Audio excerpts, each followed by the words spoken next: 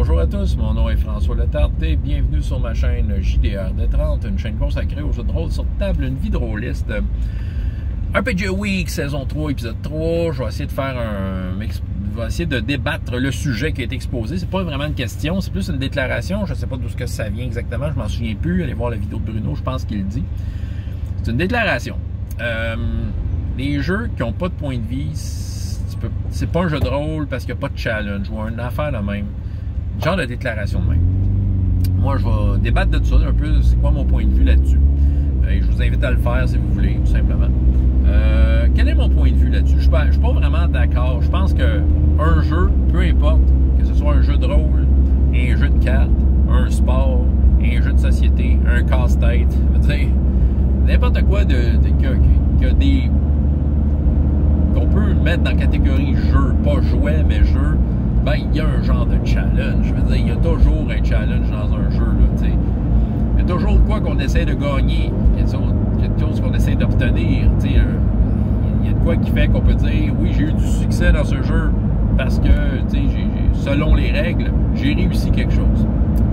C'est pour ça qu'en partant, non, il y a du challenge dans tous les jeux, puis même tous les types de jeux de rôle qui a des points de vie ou pas partout.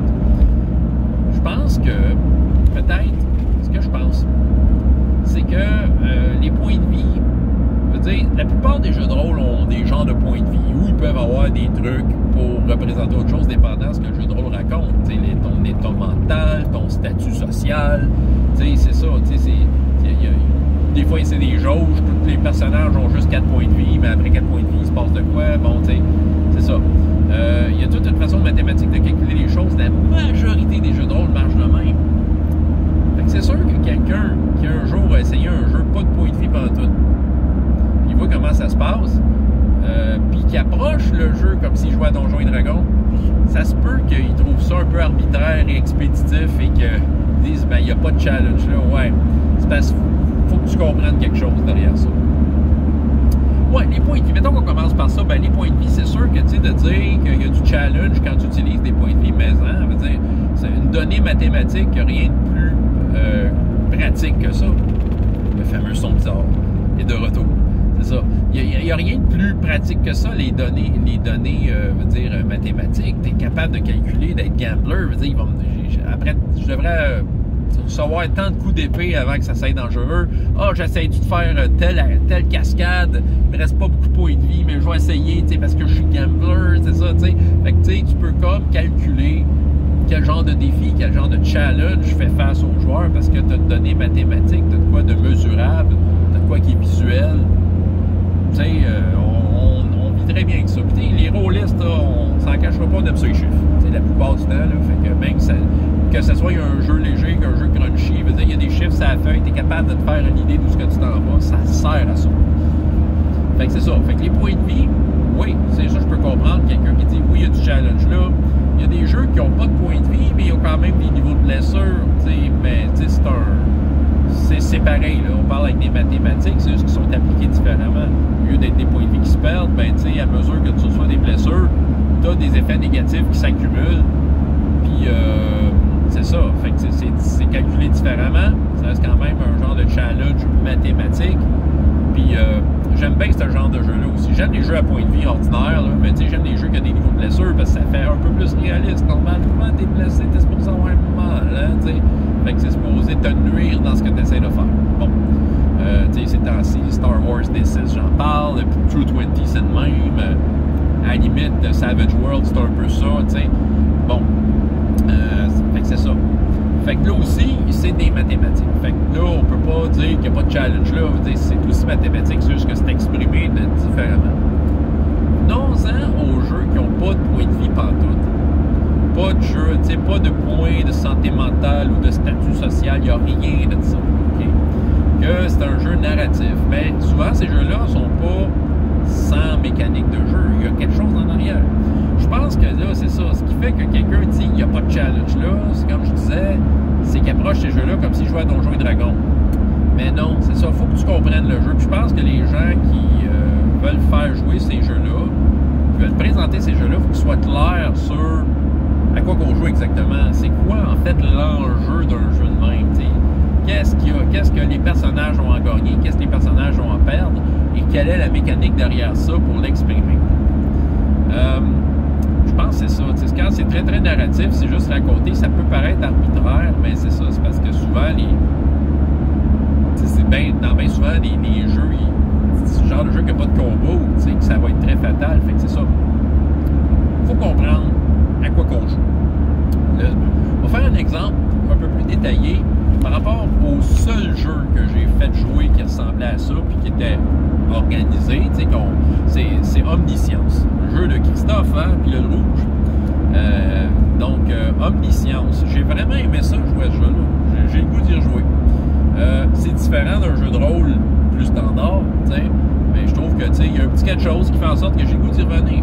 Parce que j'ai un peu compris c'est quoi qu'il y a derrière ça, c'est quoi le trip derrière Omniscience? L'expliquer c'est quoi le trip d'omniscience? Tu sais, je regarde la feuille de personnage, il n'y a aucun chiffre là-dessus. Tu dis qui tu es, tu mets ton nom, c'était quoi ton métier avant que, avant que les extraterrestres envahissent la Terre, c'est un peu ça l'histoire. Puis dans l'histoire, tous les personnages, c'est des personnages qui ont des visions. Et c'est ça qui permet à des humains bien ordinaires de battre un envahisseur qui est ultra puissant. Parce qu'ils sont capables de voir à l'avance qu'est-ce qu'ils vont faire.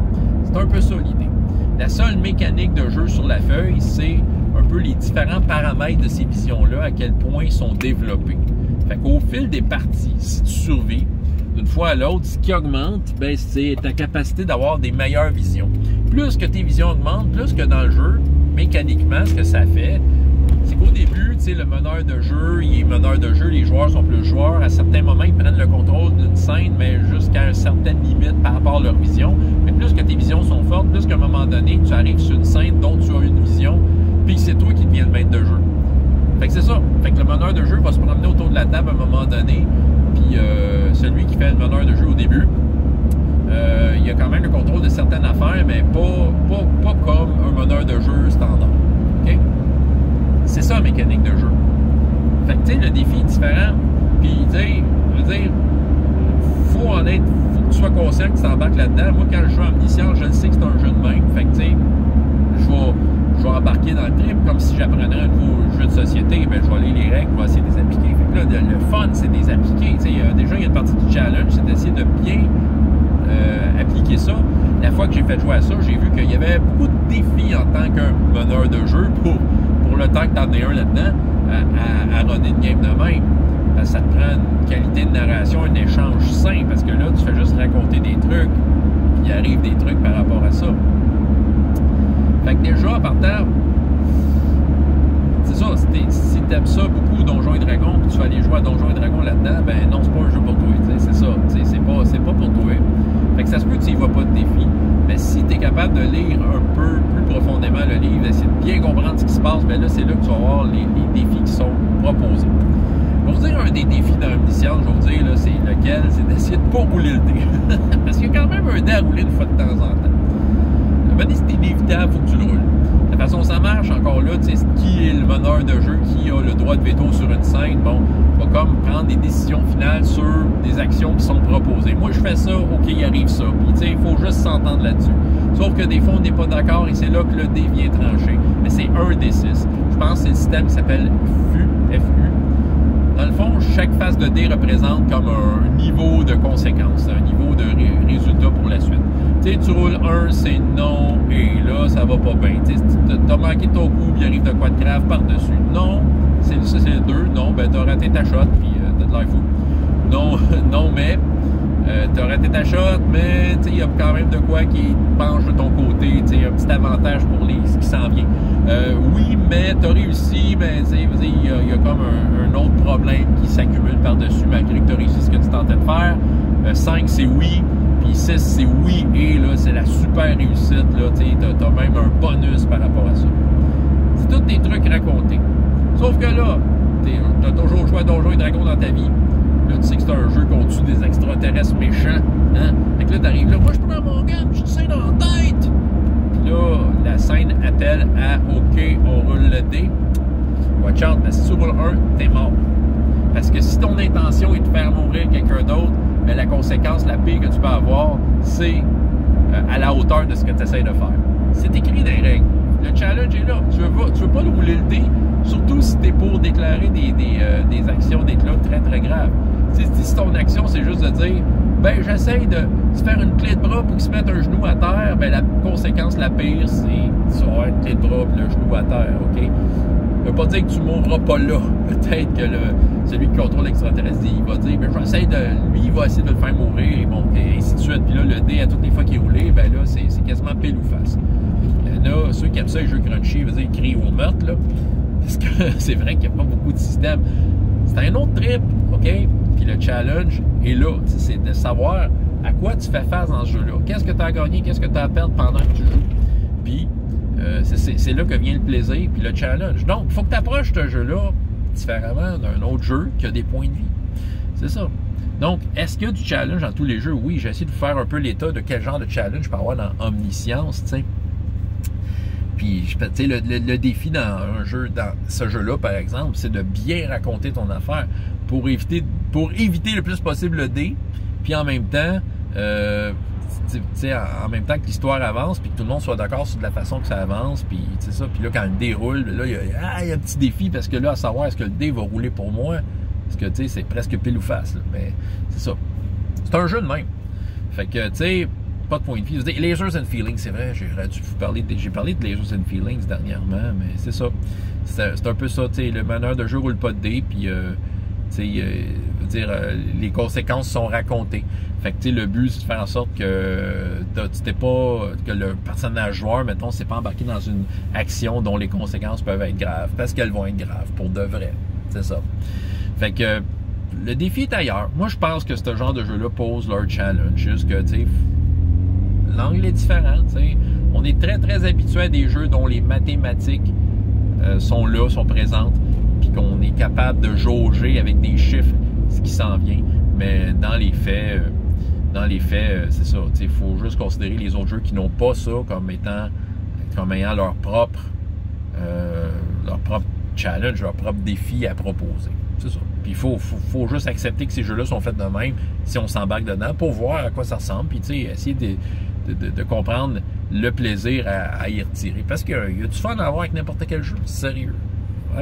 François Letarte, JDR D30 et jusqu'à la prochaine fois. Il y a autant de plaisir dans la vie dans les jeux. Au revoir.